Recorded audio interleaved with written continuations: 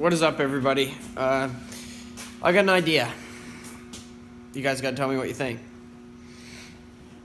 So here's the Murray, the copy of Fearless Front, and yes, I that is what it is.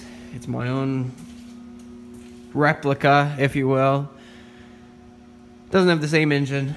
It's got the 12 and a half modded flathead, and uh, somebody was saying that they like the the videos on the engine, so there'll be more of that in the future. Show you the machines. Got the old green Yami. You got a video of that I'm gonna put in here. It's flooding. I don't know what the fuck's wrong with it. The Honda making rear end noises again. I'm really starting to get pretty pissed off about that. I'm gonna have to pull that rear end again. It's really starting to grind. I don't know what's wrong with it. The sled needs a new needle valve. I think that's the only thing that's wrong with it. But the point of this video, this machine. Now, what have I got to say about this? Well, as you guys know, I got the off-road Murray right here. And this is my main off-road rig that I use for tractors. I mean, I got the four-wheelers. But if I'm going for a tractor rip somewhere, I take this.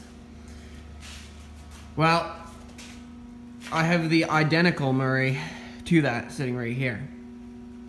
And that kind of opens up some opportunities. And right now what I was sort of thinking is having an off-road rig right here, the Fearless Front style one. And then taking this old Murray and stripping it down, going over it and doing some things, more pulley modifications, uh, do something with the steering. I don't even know yet. You guys gotta tell me what you think because this tractor right now has no engine. I'll show you there's parts everywhere, missing an engine. It's basically just a beater anyway.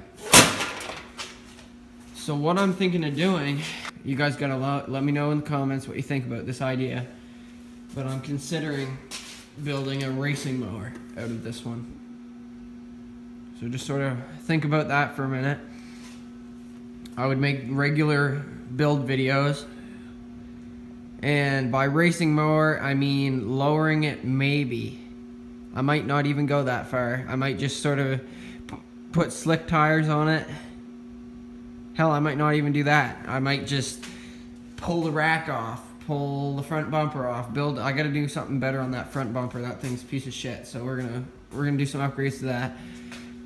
Uh, maybe a twin, maybe if I can get my hands on it. If I can't, then we're gonna have to modify some more engines, and there will be videos of that. I'm building an engine for that if I were to go that route. Uh, right now, I believe it has a 4-inch pulley on the back. I'm thinking of going probably 2, and on the front, probably the mower deck pulley.